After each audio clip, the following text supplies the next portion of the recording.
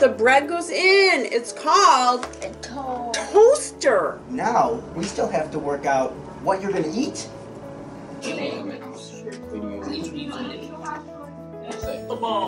Um, the program here, it, it serves to support children who are deaf or hard of hearing who, for whatever reason, have been unable to be successful in their home school district. It might be because their hearing loss is so significant they're unable to access the curriculum um, in the home school. It could be because they have additional disabilities. It could be a myriad of reasons, just depending.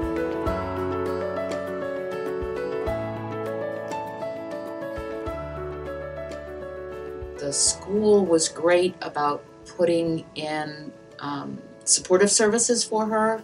From elementary school, she had a full time sign language interpreter and she had um, FM equipment and lots of supports. But as she was moving through middle school and then making the transition into high school, it became more and more difficult for her. By freshman year in high school, she didn't want to go anymore um, and really became unable to go.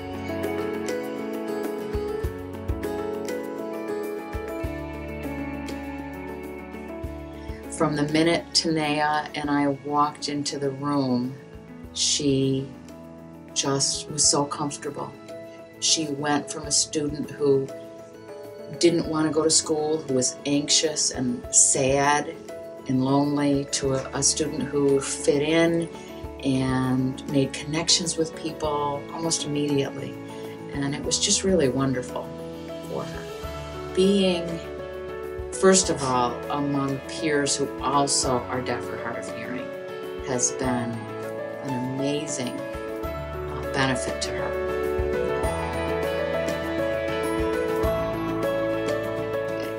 Integration is a wonderful thing, but not if it creates isolation. You need true integration, which is lots of different people coming together, and that's what this program has done for. It's based here in Solvay, so she's out and about interacting with all kinds of students, but she has her the support of peers here in this program to balance that out, and she's not always alone.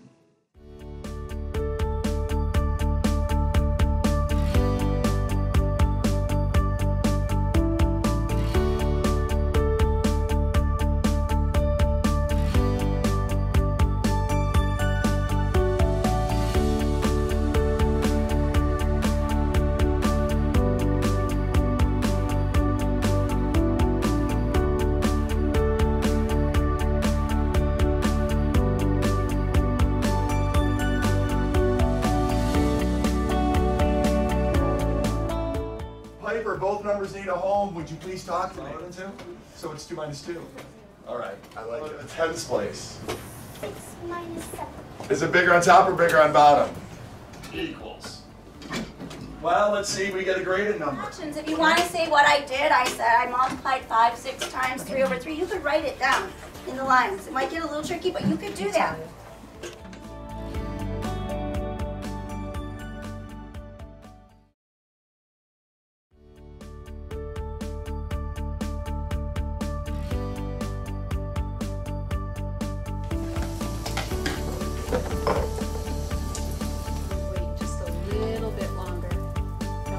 Until the edges have some bubbles going around it and it's looking like it's drying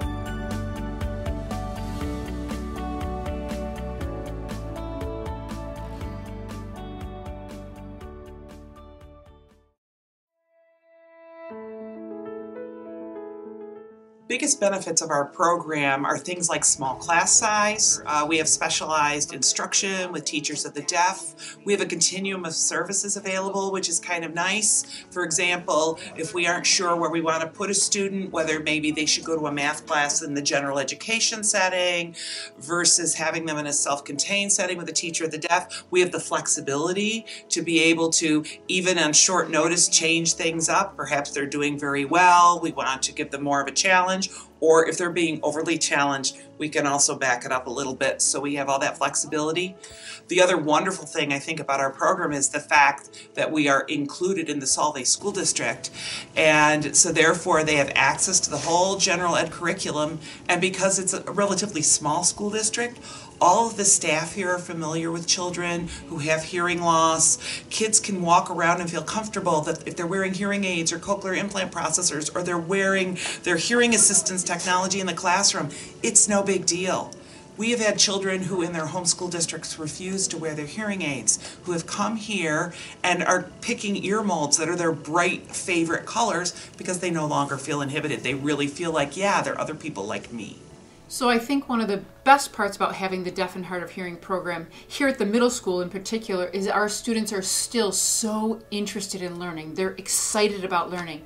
And so when they have a deaf student or a hard of hearing student in their classroom, not only are they learning the curriculum, but they're watching those students and watching how they can best interact with those students and have them a part of their class. They see those kids as just a part of our day and they participate with our students in every facet. They're in the school play, they're out on the sports teams.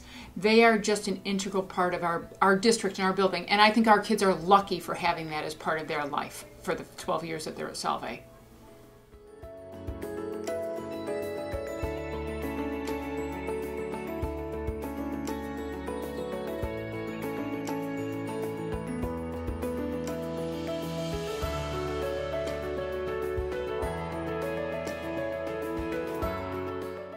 I'm Caden's speech language pathologist. I've been working with him since last September when he joined the program. And when he came to us, he knew a little bit of sign language. He was in a preschool where um, he was the only deaf child using sign language, and he didn't really have a clear way to communicate. He didn't understand people. So, very, very quickly, when he joined our program, he started to learn sign language with our um, total communication program that we have here, where we sign and talk uh, to everybody and all the staff and all the kids do. Um, and as what happened over time is a lot of his frustrations with not being able to communicate his wants and needs and not understanding others really decreased and he was able he was able to really be happy.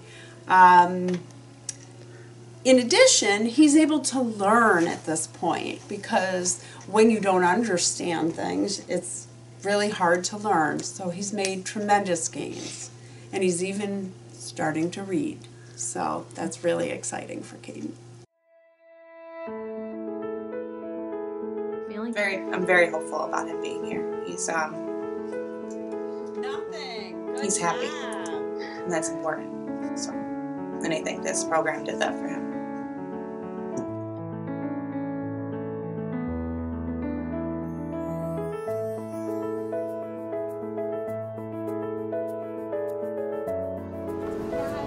Oh, I gotcha. Graydon, what's one plus two plus one?